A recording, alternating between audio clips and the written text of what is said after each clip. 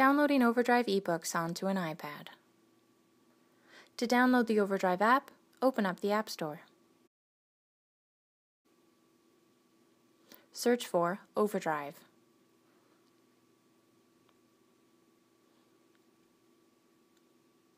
Tap on Get or the cloud icon to download the app.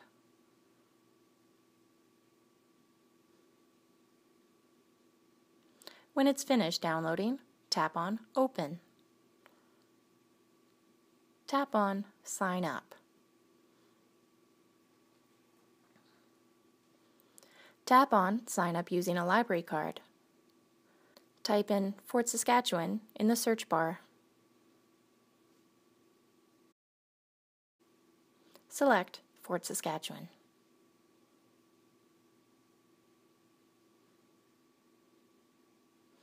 Enter your library card information.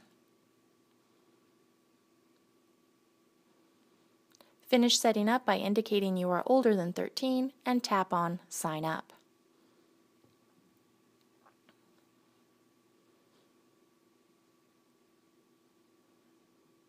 Tap on Add a Library from the box or from the menu.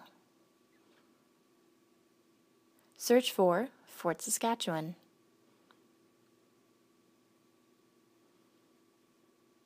Tap on the results. This is where you'll be finding and downloading books.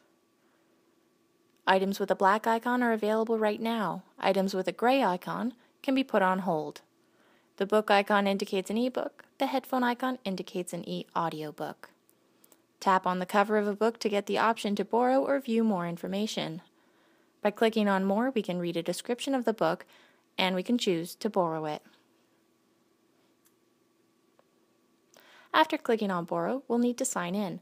Select Fort Saskatchewan Public Library. Enter your library card information. And now we can see the book in our checkouts. Tap on Add to App to download the book. This way you do not need an internet connection to read it.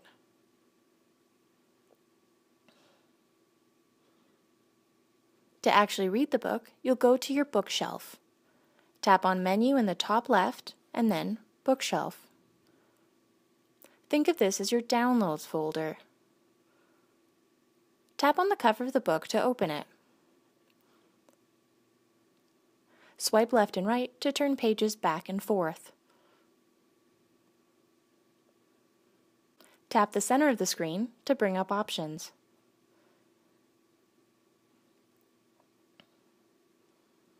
Increase font size, jump to another chapter, and more.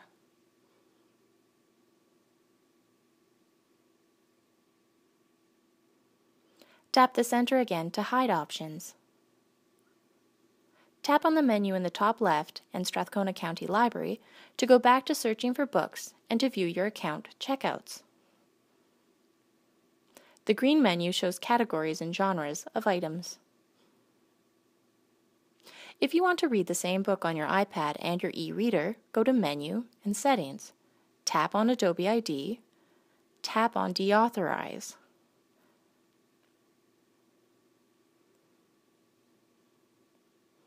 Tap on Authorize.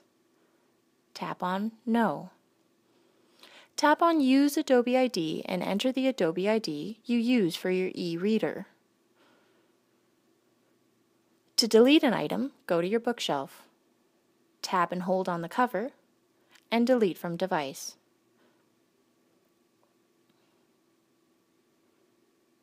And that's the basics of Overdrive on the iPad. Thanks for watching.